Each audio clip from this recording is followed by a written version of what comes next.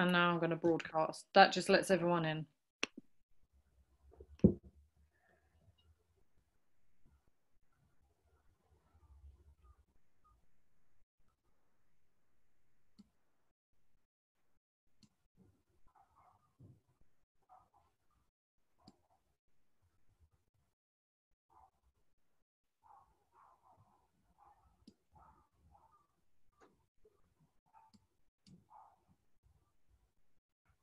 Good afternoon, everybody. Welcome as you join us for this session. We'll just wait for a few more moments just whilst everyone um, logs in before we start.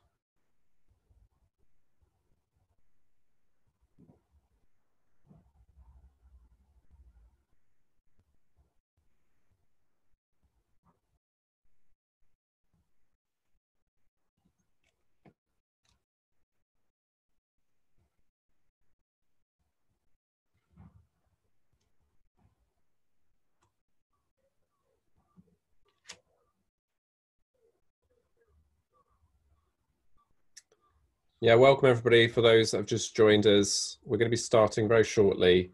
Just give it a, one more minute or so, just so that everyone who is going to attend this session can attend. Make sure they catch everything from the beginning.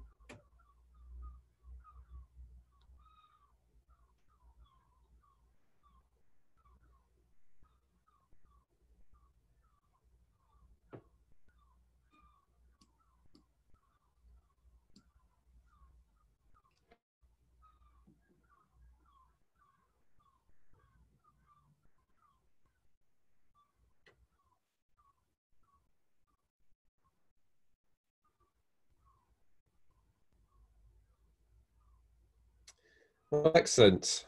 Uh, I'll make that about a minute past, so we will um, start this session and uh, then we'll take some questions at the end. So good afternoon, everybody. My name's Tim Messeder and I work for the KTN, uh, principally on this program, the GCRF Agri-Food Africa program. And it's my pleasure to welcome you here this afternoon for the second session in this week of activities. I hope you found this morning's very interesting and useful for you I thought it was some great presentations and uh, really enjoyed listening to the um, presentations from folks and also the um, question and answer at the end. I thought that was excellent. So thank you very much. So the way that we're going to uh, run this is we will have pre-recorded presentations from three of our, our um, panelists. Um, I just wanted to, and then at the end of that, we'll do a Q&A. I just wanted to go through some of the points that you'll need to know just about the meeting as a whole um, and for the rest of this week because I think it's of relevance to you. So firstly, can I please remind you um, that if you're using Twitter, you use the, the hashtag AgriFoodAfrica, uh, then you can tweet about us that way. If you are um, going to watch anything on YouTube, please do like and subscribe because we will be sharing content on that platform over the next four or five years. So you may want to do that. There are networking events that you want to take advantage of. We've got some great companies, um, research organizations, uh, and the like with us this week, and they're on there. And so, if you wanted to book an appointment to um, have a face to face meeting with them for a very short five to 10 minutes, then you can do that. But you do need to sign up. So, please do that. Um, details for your meeting mojo, it's on our website, and you can find that information there.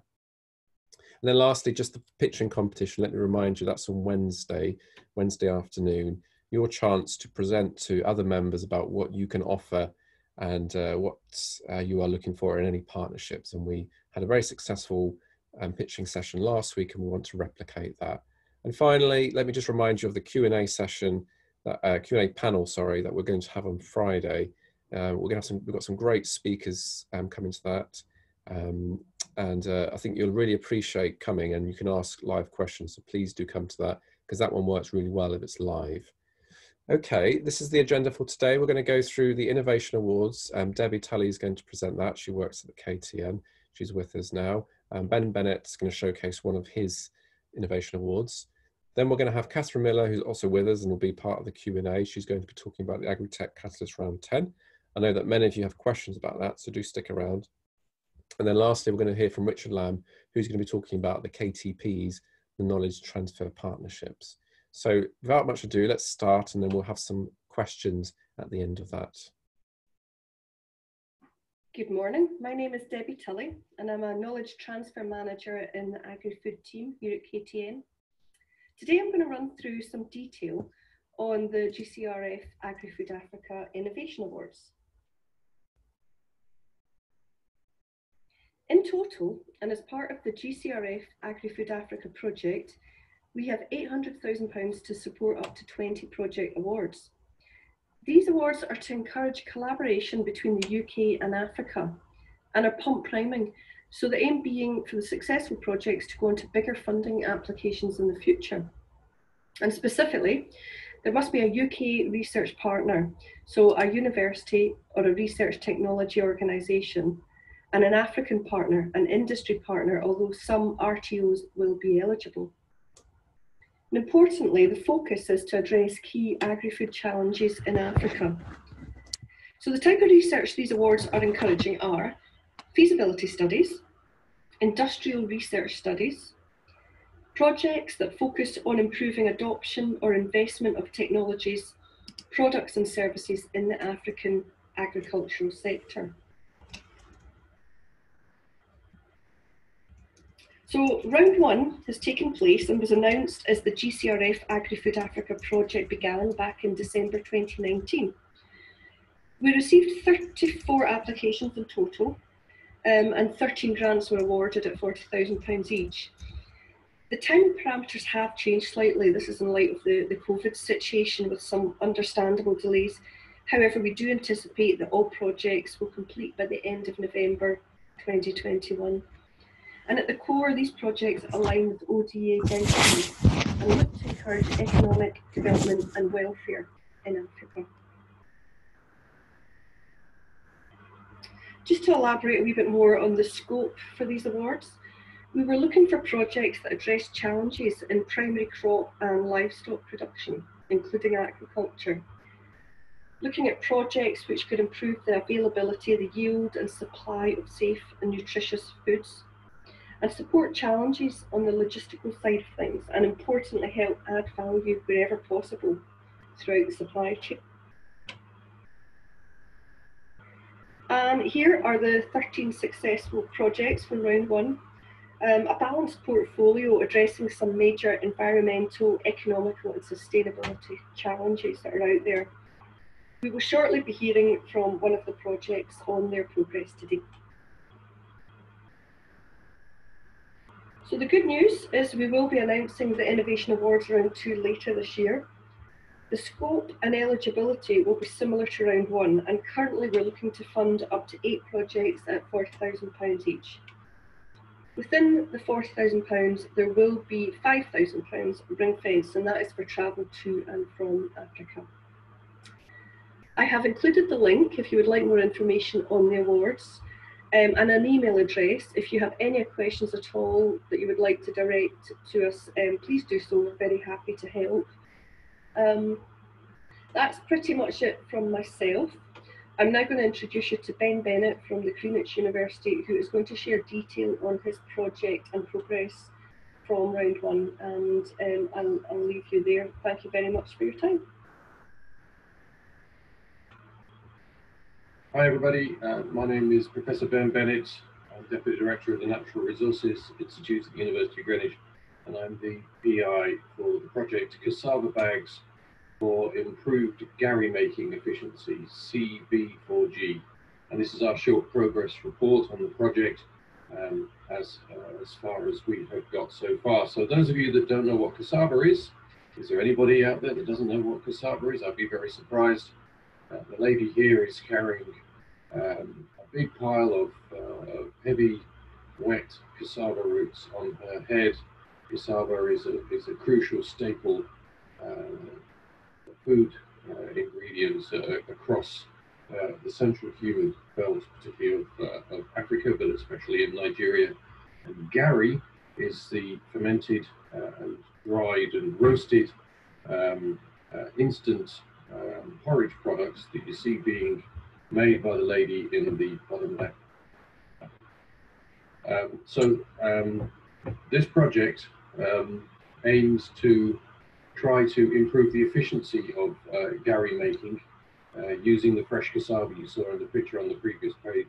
Um, in, in West Africa particularly, uh, where gari is a staple, uh, a staple food for hundreds of thousands of people. Um, and there are, uh, traditionally it's made by small-scale gari makers uh, who are almost university women and who run very small businesses like the one you've just seen, um, roasting gari. They buy in fresh gari um, and they sell, uh, they buy in fresh cassava and they sell gari. Um, so the challenge that they face is, if you look at the picture on the right, um, that is a piece of cassava root that started to have post-harvest physical deterioration. So within 72 hours of pulling cassava out of the ground, it's turned into this uh, rather unpleasant mushy-like substance. The wild cassava's got very many advantages. Um, the one of its drawbacks um, is it's got a very uh, short uh, shelf life. So uh, our plan is to um, is to try to work with gari making SMEs um, to re-engineer the supply of fresh cassava into their system uh, using um, polypropylene bag, a polypropylene bag approach, which, which we've been um, developing uh, for the last couple of years under a grant from the Rockefeller Foundation. This, this polypropylene bag is called cassava bag. We've proved that it works uh, at a half ton scale, and we think it can be uh, engineered to work uh, for small gari processors to increase the shelf life of fresh cassava um, include the, allow them to stock cassava for up to uh, eight days. And we think this might give them a, a better return um, on the cassava that they buy because you retain more starch. Um, you, you, can store it without deterioration uh, but it also will allow better management of the supply chains of their business. That's the premises behind this project. The partnership consists of um, the Natural Resources Institute, which is part of the University of Greenwich in the UK, um, and um, the University of Agriculture in Abeokuta, uh, FUNAAB in the southeast Nigeria, uh, and um, Benue State University, which is in the south central to western bit of Nigeria. Um, gari producer groups, some of which we've already, already identified, some of which we need to identify, and a bag making company who's been working with us on the larger. Uh, so where is the project? Um, the Natural Resources Institute is based at the Medway campus uh, in Kent, in the southeast of England.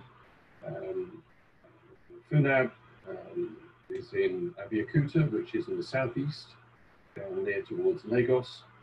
Uh, and Benue State University is in Makurdi, all the way over here towards the southeast, south central east, shall we say, uh, of. Uh, and um, uh, these partners have been chosen because they sit squarely in what you might call the gari belt um, of southern Nigeria, where there are tens of millions of gari consumers and hundreds of thousands of gari uh, makers.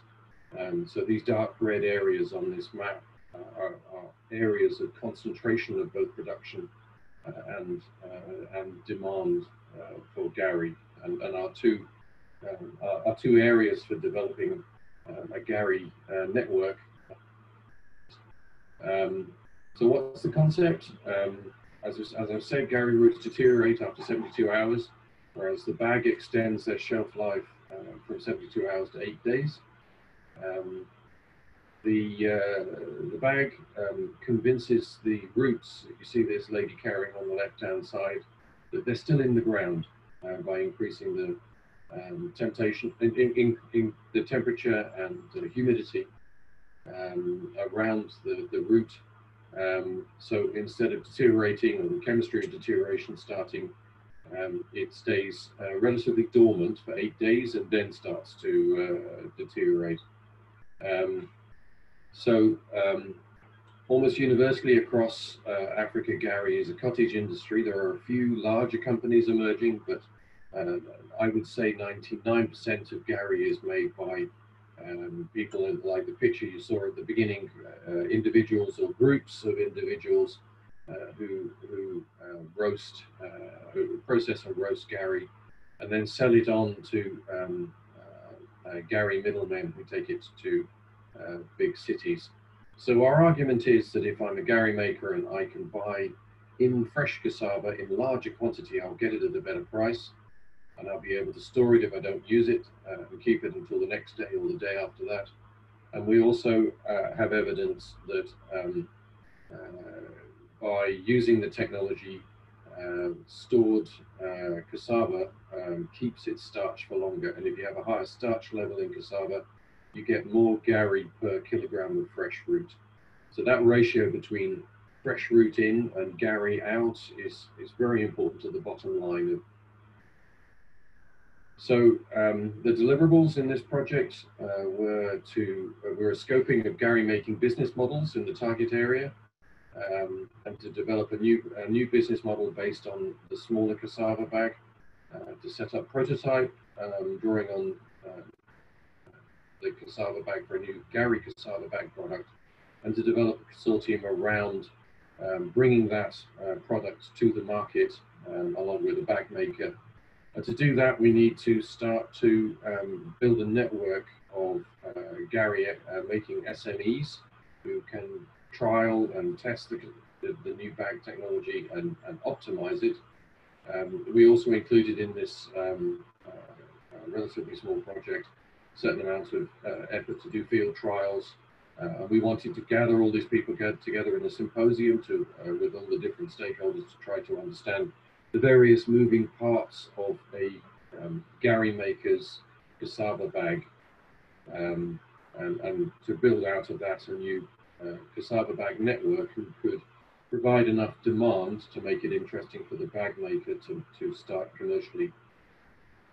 So that's what it's all about. So progress to date, we signed up our partners. Um, we've been developing the research questions and the fieldwork plans um, but we haven't been able to have the kickoff meetings because our partners are in universities and they've got some similar challenges to ours uh, with the uh, shutdown. We're about to have the virtual kickoff meeting, uh, but we can't do the field work because it's simply not safe in Nigeria and it won't be safe in Nigeria for quite a long time. So it's it's likely now that this field work is, is probably going to be in 2021. Um, we are trying, trying to get uh, uh, master students to help us initiate some of the work. But of course, there's a moral challenge that if, if we can't go to the field, then you know we shouldn't be asking uh, other colleagues in, in other countries to go to the field for us. So that's our very quick 10 minute run uh, through our progress to date. Uh, thanks for your time. Thank you very much for your presentation, Debbie and Ben. Great to hear how the innovation awards are working in practice on the ground, and it's exciting to find out that there's going to be another round of funding um, for the end of the year, so we look forward to hearing more detail. We're now going to hear from Kathryn Miller, who is going to be talking about the AgriTech Catalyst Round 10. And uh, we're very much looking forward to this, I'm sure, um, and we'll be able to take questions at the end. So over to you, Kathryn. Good afternoon, everyone, and welcome to this presentation. I'm Kathryn Miller, and I'm Innovation Lead for Food and Nutrition at Innovate UK. The UK Government's Agritech strategy was launched in 2013 with the aims of improving the translation of research into practical application for agriculture and related industry within the UK and overseas. This was an investment of £160 million, which funded four Agritech Centres for Innovation and the Agritech Catalyst, this was looking at funding translation research, and it also included funding from the Department for International Development to fund projects related to international development. The government investment in the Agritech Catalyst was a total of £70 million. The Catalyst has funded over 150 projects to date, and these are industry and research collaborative projects to improve the translation of research into those practical applications. 10 million pounds of this 70 million was from the Department for International Development, and a further 10 million pounds has also been received since then to fund further projects since 2018. DFID has funded the Agritech Catalyst since 2013 across nine competition rounds to fund projects for UK organisations to work with organisations in developing countries. And since round seven, the focus has been on Africa. 58 projects have been funded, 53 of those in Africa, and this has delivered over £20 million worth of grant funding across 13 African countries. Round 9 projects haven't been announced yet, but will fund further 13 projects and provide an additional £6 million worth of funding. The Scope of the Agritech Catalyst is broad. Projects must show the potential to deliver impact in Africa through the uptake of agricultural and food systems technology and innovation. The scope of the catalyst covers primary crop and livestock production and agriculture, non-food uses of crops, challenges in downstream food processing, distribution, and also storage and value addition, and improving the availability and accessibility of safe, healthy and nutritious foods. The funding for the Agritech Catalyst is Official Development Assistance or ODA funding, and this is defined as, as funding that flows to countries and territories on the DAC list of ODA recipients. Only research directly and primarily relevant to the problems of developing countries can be counted as ODA funding. And because of that, ODA eligibility is a key component of the assessment process and will be asked questions on this in the application. The applications must clearly demonstrate how you propose to work on a project and how it will benefit agriculture and food systems in Africa and how you will de deliver this benefit. Um, there can be benefits to the UK um, as secondary benefits. So, for example, um, for UK companies and researchers, but it has to be secondary in nature. And also, any activities carried out um, within the project must be clearly to address the challenges in Africa and not for the UK market. So here are some examples of projects, the types of projects that we funded through the Agritech Catalyst so far. So of the um, 58 projects we funded through the Agritech Catalyst, the scope has been very broad, um, covering research and innovation in agriculture, food systems and nutrition. Projects are focused on things like control of crop pests and disease, um, adding value to waste, and reducing food losses in the supply chain and improving food safety. We've also funded projects looking at non-food uses of crops, improving productivity for smallholder farmers and to tackle livestock disease for example, vaccination. This shows the key points around the eligibility criteria.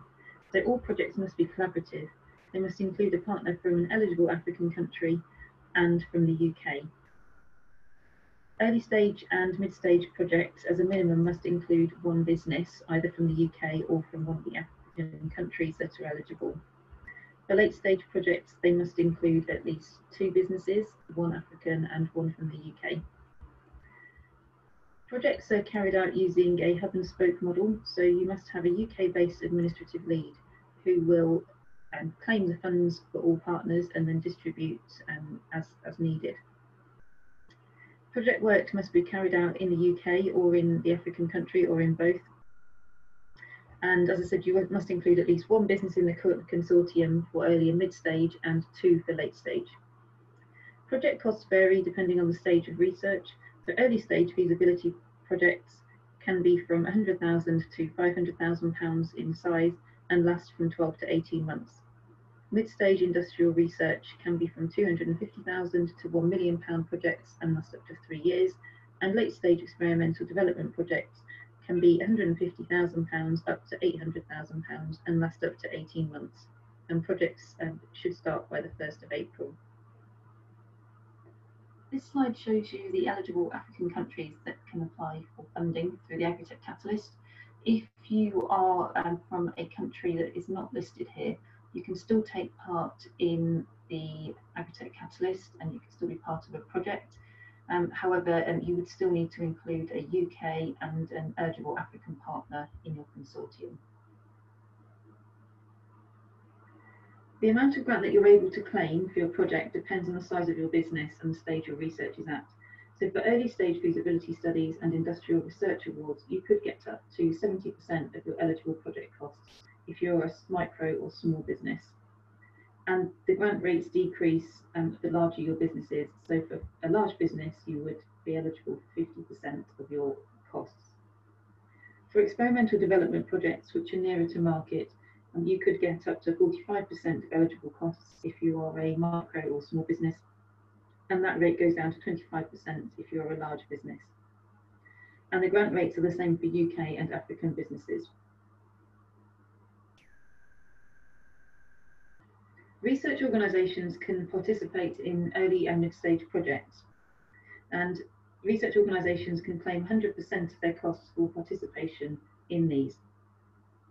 UK universities can claim 100%, which is 80% of full economic costs, and African universities can claim 100% of their project costs.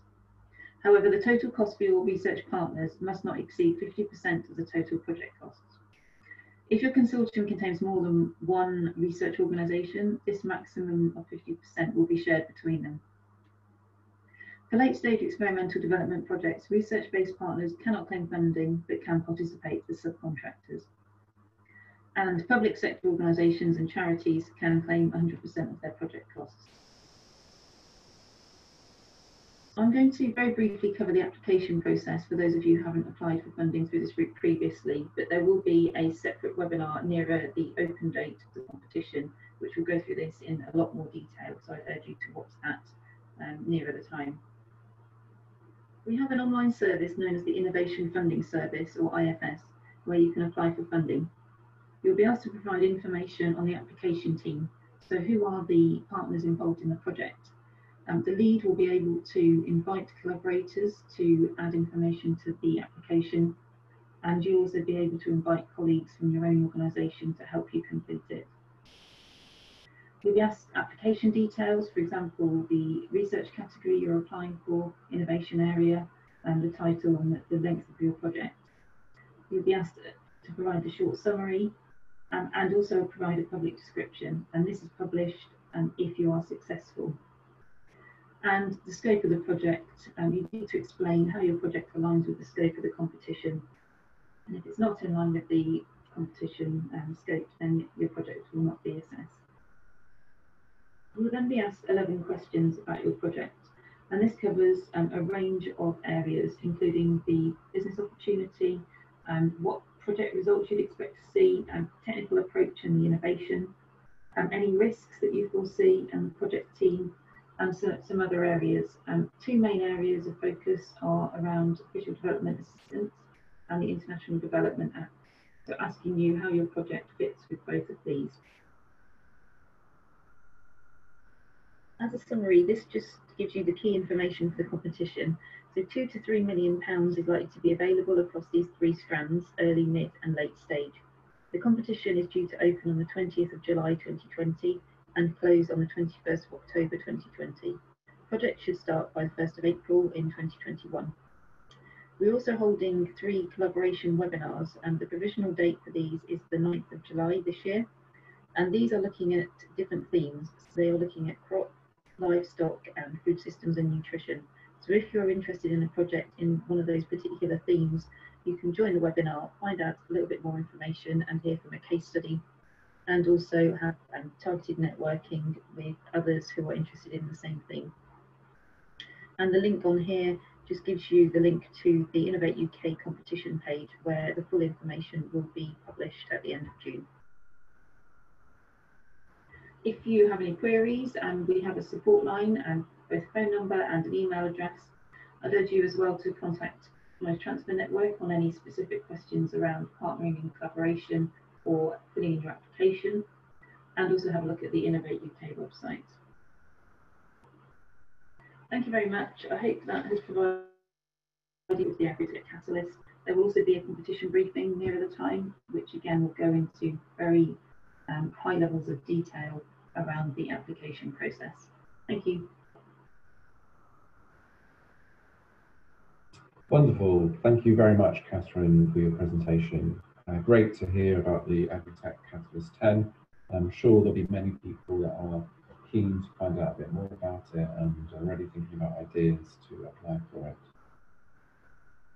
Uh, we are now going to hand over to uh, Richard Lamb, who's also from Innovate UK, and will be letting us know a little bit about the knowledge transfer partnerships, which are also running within this programme. So over to you, Richard. Hello there, my name is Richard Lamb. I'm the KTP Programme Manager at Innovate UK. I've been asked to talk today about the Africa Agri-Food KTP, um, which we are delivering in conjunction with our colleagues in KTN and the uh, Agri team at Innovate. So our programme is uh, funded through um, Global Challenges Research Fund and the money that we have for KTP is part of a much wider programme um, of activity that is being run um, through innovation, focusing on agri-food in Africa. KTPs have been around for a long time. We've been running it for the programme for 45 years here in the UK. And KTPs are a partnership between businesses with uh, an idea, they want to grow, but they don't know how to do it. Um, our universities and research organisations partner with those businesses to come up with a plan, an idea of how you can solve this challenge that the business is facing, and we support that um, through our knowledge transfer advisors who are based at KTN. Together, the university, the business, and our knowledge transfer advisors proposal which is submitted to Innovate, and if funded, uh, the university then employs an associate, a graduate who is skilled in the area uh, that the business needs, and they act as the conduit that pulls the information from the university into the business and helps the business embed that knowledge and learn. So they're not just um, learning, uh, they're not just given a fish, as it were, they're taught how to fish. Um, one of the unique features of KTP is that the university employs the associate, but they spend most, if not all, of their time in the business. In Africa, we're going to try and replicate the model. Um, we want to um, reflect the local nature of the challenges that are faced um, in our um, target countries. Um, so what we are doing is we are bringing together a UK university with a uh, in-country university in one of our target areas, um, and they are partnering with a business with a challenge. Again, if successful, if funding is approved, the university in the host country will employ the graduate and they will spend most of their time in the business. We have uh, knowledge transfer advisors that are helping develop this process with the UK universities and we are using another initiative that is happening within the KTN to embed knowledge transfer advisors in each of our target countries. Our target, our pilot countries are Ghana, Nigeria, Kenya and South Africa. So if you are a business or a university or research organisation in any of those countries and the business has a challenge and you think you can help them, if you partner with a UK university, um, or indeed if you're a UK university and you have contacts in any of those countries, we'd like to hear from you and we'll help you put a project plan together. We have about £6 million over four years to support about 24 projects and we have the first applications in and we're hoping that they will start at the end of this year. Of course, uh, a little something has uh, caused our planned timelines to uh, go a little bit awry, but the applications are in, and that's a good thing. So um, for a 24-month project, we're anticipating a budget of £250,000, which will be split 50-50 between the UK and the African university partners. Um, we are looking to uh, enhance the, the UK, uh, sorry, the, the KTP model and enhancing the reach and reputation of our organisations, which is one of the reasons we're doing this. But we are using um, the uh, new funding that has come on, online to help provide the African KTN program to piggyback um, the KTPs on sort of acronyms that use KT, I'm afraid, in this presentation. But because we will have uh, a support network uh, across Africa through the Africa KTN, um, we feel able to help, uh, we feel able to deliver the uh, KTP program. And we can build on the support knowledge that we have from the KTAs, the transfer advisors here in the UK, and develop a similar group of people in each of the countries that we are going to be working with. So the scope of your project um, can be quite wide ranging. It's a whole group of um, food producing type projects that you can look at. There's lots more information available online. If you look at that web link at the top, um, that gives you a lot more uh, information about the scope, but the general terms are there. I won't read out the full list, but basically if you're growing it, harvesting it, protecting it, processing it or shipping it, there's probably a project there for you. What we're not looking to fund at the moment is anything to do with forestry or the growth and distribution of ornamental plants, wild catch fisheries, anything to do with horses or crops for energy production. If you think you've got a project, what we'd like you to do is have a chat with one of the knowledge transfer advisors here and I'm going to put their contact details up in a moment, and they'll sense check what you're thinking of. Uh, and then if we think that's a good idea, we'll go forward and ask you to fill in a fact find form where you flesh your idea out in a bit more detail before going on to the full submission. So this is the funding profile, £125,000 for the UK knowledge-based partner. Obviously, the pays for the same things here in the UK, essentially, as it does in, in Africa. Um, there's a really healthy travel and subsistence budget. We want to make sure that the knowledge flows both ways. Um, obviously, we're paying for the academic time and we're paying for the university to support the, um, the, the, project. And it's a UK university that acts as the um, pivot point, if you like, within the knowledge exchange process. In African University, the additional thing is that they will employ the uh, they, they, will employ the uh, associate, and that's part of their um, budgets. And but essentially, there is enough should be enough money there to run a really good project and a really well structured project. The business doesn't need to contribute at all other than in kind uh, and host the associate and make sure that they, the associate gets the commercial exposure and the business immersion that is required as part of the project. So this is the submission process. You have an idea, you talk to the KTAs, they go, yes, do a fact find form. You submit that to um, the African country lead, details in a moment. They say, okay, that all makes sense. Prepare a full proposal. You work with the lead again to develop that and, and you submit that into any of the current KTP competitions, identifying it as an African Agriculture KTP. It goes through the normal KTP review process. It is judged alongside every other KTP because it has to meet uh, the same criteria in terms of knowledge exchange and knowledge transfer that we would expect of any project. Hopefully, fingers crossed, it's all approved. We normally do that approval process within about eight weeks of the competition closing. So you're not kept hanging around for a long time. Um, and once that decision has been made, hopefully get the funding and a grant offer letter will be approved. And at that point, the project can officially start all the way through this will be supported by knowledge transfer advisors in the UK and in time the African-based uh, in-country advisors who will be there to support and monitor and mentor the projects as they grow and evolve.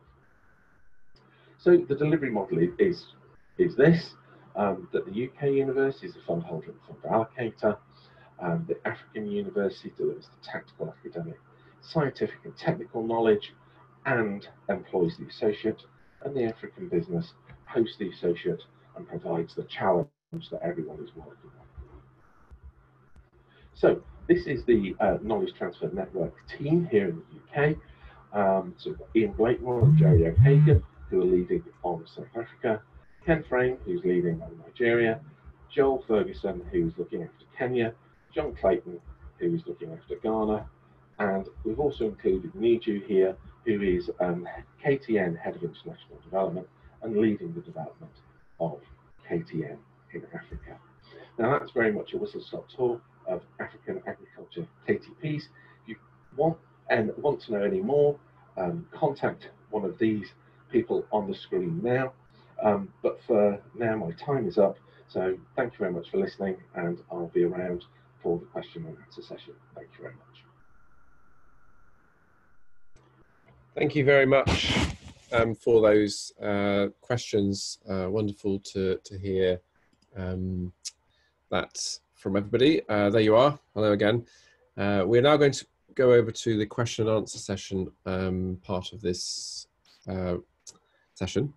And uh, we've got quite a few questions coming in, which is fantastic. So we'll go through those. Um, just bear with me a moment. Let's go to Kathryn first, I think.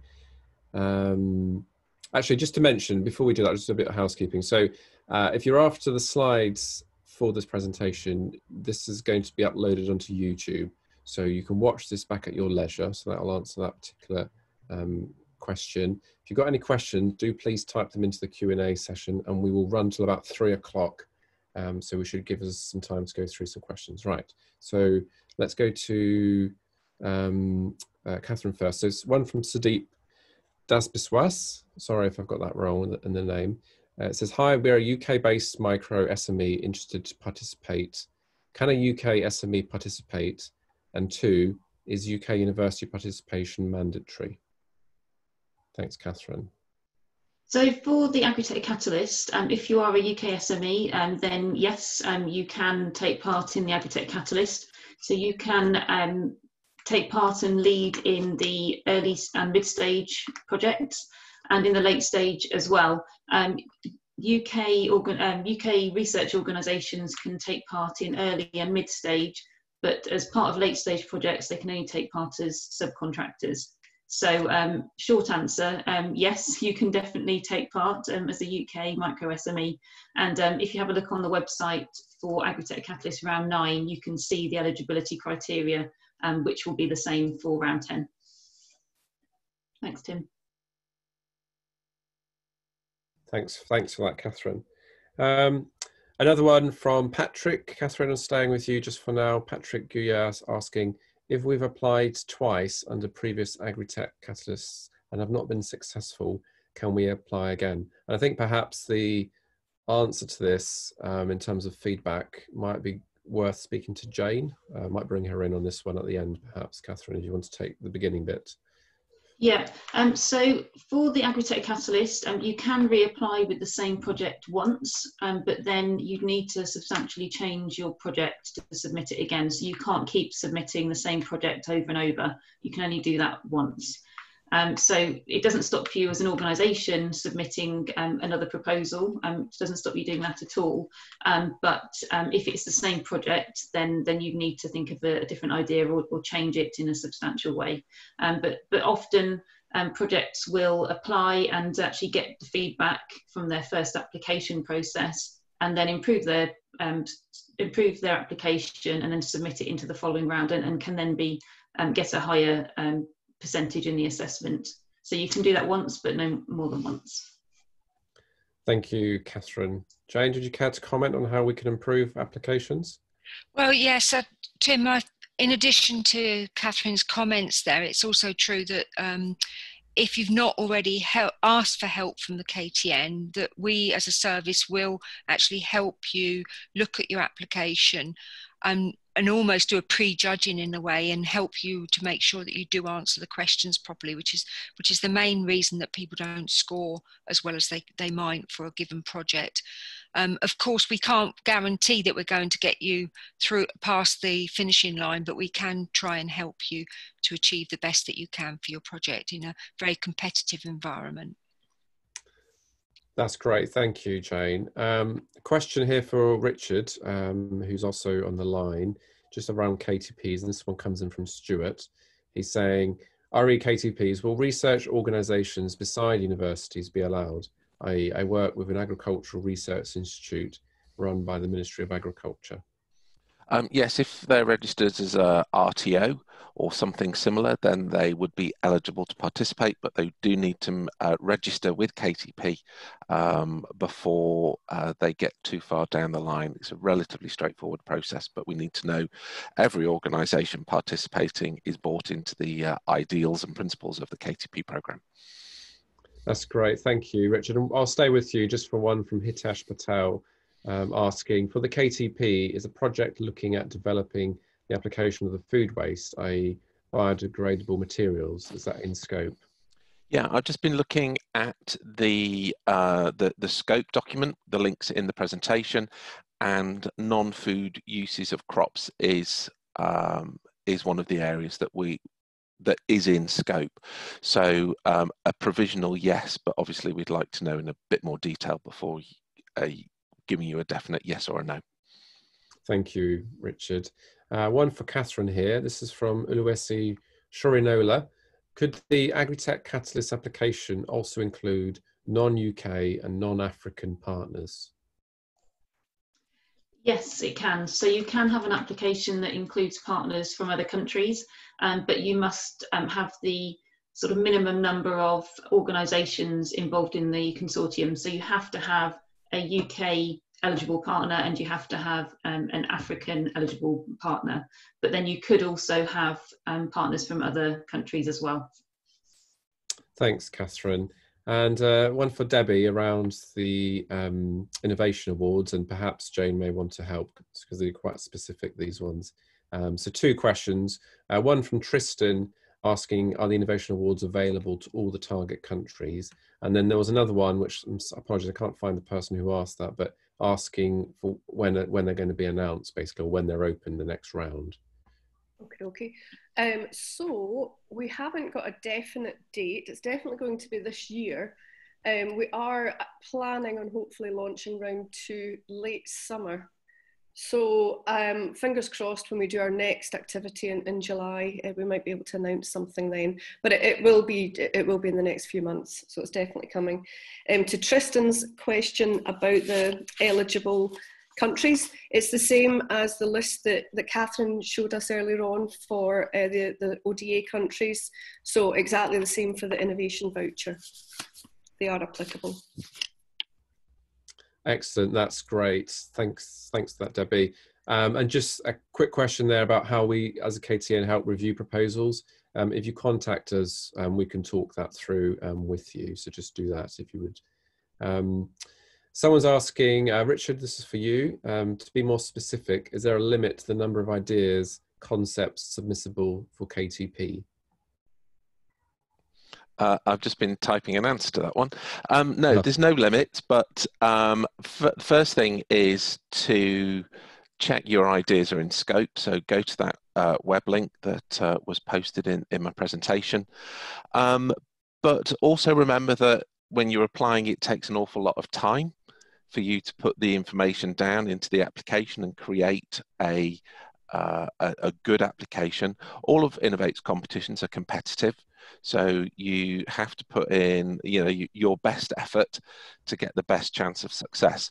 So my best advice is always to find a good idea and develop that rather than um, work on multiple fronts and, and hope that one of them um, you know is is good enough yeah that's some great um, feedback there richard thank you. And i wonder if you'd pick up this other one because i think it's come up a couple of times just about basically is this going to be extended to other african countries or can you clear up just be crystal clear on that if possible? Yeah. So so at the moment no. Um, KTP relies on having a, a, support network, and where we've tried it in other countries and we haven't had that support network, the, the projects haven't been terribly successful.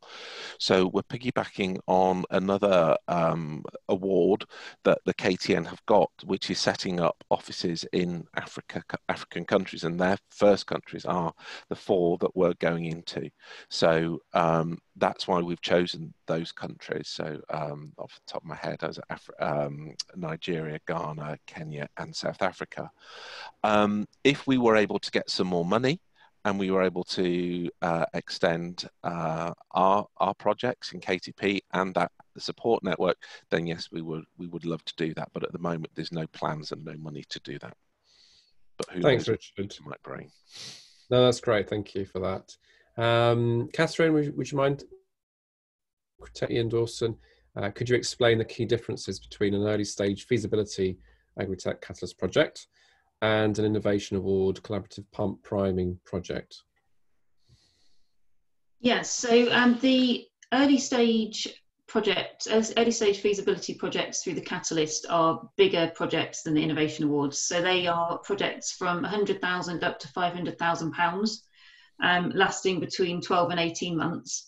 Um, the Innovation Awards are really um, they're sort of smaller pump priming awards that you might do before you maybe went on to do a bigger project. So they are £40,000 awards and they are sort of a partnership between a UK academic and um, an African um, organisation. Whereas for the early stage feasibility projects, you can have more than the two partners. Um, you can also have UK industry that can claim funding. Um, so it depends sort of on the size and scope really of, of, the and scale of the project that you're looking to do. But if you have a particular idea, um, it might be worth dropping us um, just a short paragraph and we can sort of advise which is best for you to go for. Thanks, Kathryn. That's um, helpful to, to know. Um, another question here, just about for Kathryn, just when, when are the results for the Catalyst applications are going to be announced? So round nine um, have been, the, the, projects have been told that they've been successful, um, but the results haven't been published quite yet. Um, they should be, I would have thought, published in the next month or so. Um, those projects are in the setup phase. Um, you can find the Agritech Catalyst 8 projects online. I can, I'll post the link in the chat so you can look at um, those projects and that gives summaries of, of the sorts of things that we've been funding. Uh, excellent, that's, that's really helpful, thank you. Uh, let me just get, uh, if you, and I'm not, I'm not sure of that one. Uh, so I presume this is to do with the Agritech Catalyst Round 10. It doesn't indicate, but uh, maybe we could answer that for, uh, we could answer that for the Innovation Awards and the Agritech. So I'll go to Debbie first. Would subsistence agriculture systems be eligible, i.e. Pastoral, pastoralism food systems? I, I did see that question, so I'm assuming that that's to do with livestock, in which case, yes, it would be applicable for the innovation vouchers. Thank you. And uh, the Agritech Catalyst as well. Yeah, that would be in scope. Fantastic. Um, if you are, uh, Kathryn, over staying with you, if you are a current Innovate UK grantee, are you allowed to apply for the Agritech Catalyst, I presume? Yes, you can. So um, even if you've got another project with Innovate, um, you can apply for funding through this route as well. Okay. Um, Debbie, could you answer one about uh, what period of time after when the project should commence uh, in terms of the innovation awards? So just could, could, you tell us sort of the time scales that we're looking for? Um, yes, so, so we are looking for a kind of year from announcing the awards, we are looking for them to be completed within the year. Um, but we are looking, we're aiming for November 2021 for completion of, of all the awards. Okay, that's fantastic. Um, and a couple more questions. So, uh, so this one's for Kathryn. Apologies, those who are asking the questions. I'm not 100% sure if it's for the Agritech Catalyst or the Innovation Awards. Um, I'm presuming it's the Innovation Award, uh, sorry, the Agritech Catalyst Awards. Uh, if not, then do correct us and we'll get the answer to those. So this is from uh, Taita. I'm not going to pronounce your surname because I'm sure I get that wrong. Do we get detailed feedback on projects that fail to get funding, Kathryn? Yes, um, so you will um, get feedback. You get um, a summary of the feedback um, on each of the questions that you submitted. So yes, you, you get detailed feedback um, when you're um, shortly after you're notified whether you've been successful or not. So you do receive that. Mm -hmm. again, one asking from Sudip, asking about the technology ready level. If they're at level three going to four, would early stage be right for them, Kathryn? Yes, so that's the sort of TRLs that um, would be considered sort of the early stage feasibility studies. So yes, that's the sort of um, thing we'd be looking for. Okay, uh, just a question here saying, asking about the unfunded part. Um, i.e. is the funding conditional on the private percentage being funded first or in parallel, or how is the full funding addressed? Um, um well, so I, I, can answer that from KTP because in KTP it's fully funded. So there, there's no additional funding required within the KTP project. Um, and for the Agritech Catalyst, um, so I'm not entirely clear on sort of the question, but I'll just sort of summarise the, the funding. So if you um, if you apply for funding, a certain percentage um, you can actually claim. So um, for example, if you're an SME um, working on an early stage or mid stage project, you can claim 70% of the funding. So you would need to be able to match fund the remaining 30% of your portion of, of that work. Um, hopefully that sort of helps, but if there's another question, send it in, or um, we can help after. No, that's that's that's fine. Thank you, Kathryn. Um, I think we're coming wrap it. We're going to wrap up very shortly. So if you did have another question and you're somebody watching, um, do please type that in because um, we are rapidly running out of time. We'll see what we can do. Um, so last question at the moment um, for Richard. Uh, thanks for the advice provided earlier, Richard. So compliment to you. Well done. That's, uh, that's nice. Nice to see. Thanks.